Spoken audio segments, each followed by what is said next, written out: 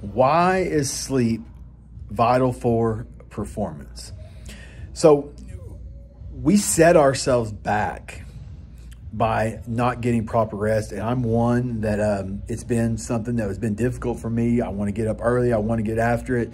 Don't get to bed um, at till 10 and try to wake up at 4. It's hard to get enough sleep. Uh, and as I've gotten older and having just some injuries and things like that, it's been something I've been, I need to get to bed earlier because one, just cortisol levels. If, if we are not getting enough rest and we're not recovering, then we are more stressed. And then what that does is we make more decisions that aren't in line with what we want. But the big, the big picture here is if you want elite results, if you want elite results, then sleep is a prerequisite. You have to have it because we make decisions that aren't in line with what we want long term when we're tired. We make stupid decisions. We say stupid things that cost us time and energy. So sleep is something that we need to make a priority. Think about this.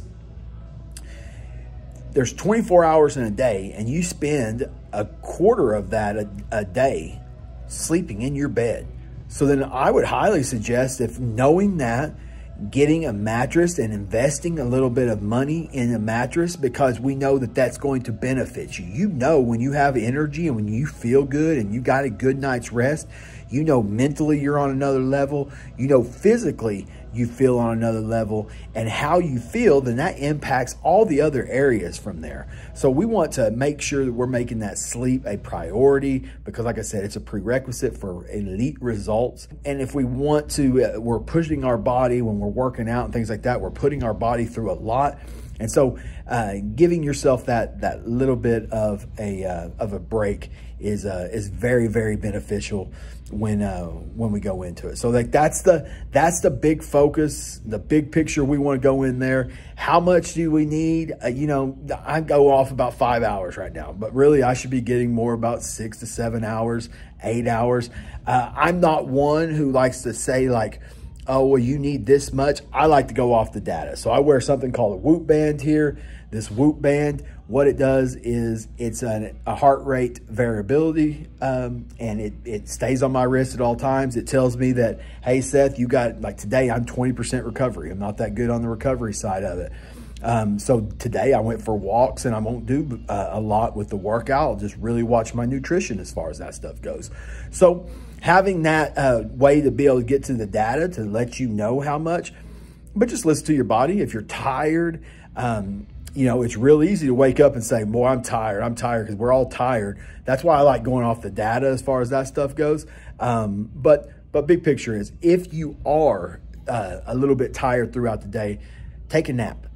Um, a 20 minute nap, you can actually get more benefit from a 20 minute nap. And I, believe you get more from, uh, from that than some REM sleep from like a, just a 20 minute nap. Now, if you go over 20 minutes, that's a, yeah, it's a different animal because now you're sleeping. You got to wake up from that. You can feel groggy and things like that. So just take a 20 minute nap and don't beat yourself up about it. Just understand it's something that you need to do to be able to get the, um, to, to, to show up for everybody else like that, like you need to and have the energy and things like you need to have. Um, when we're talking about the sleep environment and setting yourself up, room temperature is a big uh, is a big focus as far as that stuff goes. Having a fan, um, I know like with the little background noise, uh, the fan helps out. Plus, it'll keep you a little bit cooler and the place a little bit cooler that you're sleeping in.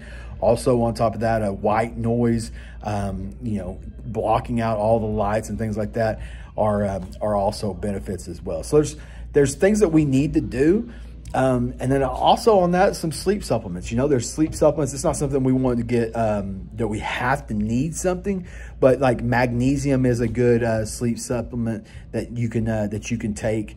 Um, there's uh, there's one from uh, First, 1st Phorm that uh, that I've taken in the past that um, it just it just gives you all the vitamins and stuff that you need uh, to help you kind of wind down and uh, and go from to sleep from there. So um, I'll tell you this, if you can get strength training in three to four days a week, you can get your steps and average uh, 10,000 steps a, a week, and you can really put a priority on protein and know how many calories you need and really uh, start focusing on that.